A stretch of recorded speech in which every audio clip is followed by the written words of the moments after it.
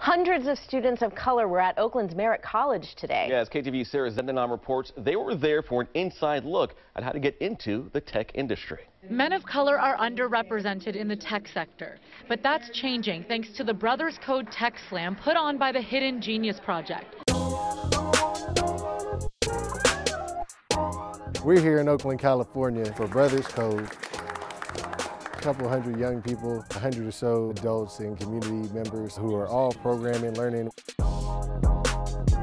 and technology skills, learning about technology pathways, just getting exposed to a broader network and a broader understanding of what technology is. This is the seventh annual Brothers Code, the fifth in a row that we've had here at Merritt College. Proud to have Brothers Code be an Oakland staple right now.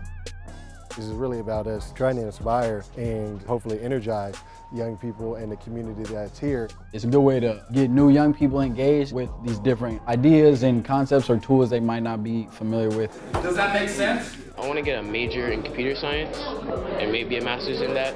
Today, I think is really about being hands-on, especially for the youth participants. So let's get our hands on robotics, virtual reality, game design. Let's get our hands on devices and do a little coding. But ultimately, it's really about having fun. We want these young people, especially our boys and young men of color who oftentimes are growing up really fast. We just want them to be children today, you know, just have fun. Later on, we'll have a community expo where a bunch of organizations and companies will come together and they'll show these young people what all that they do.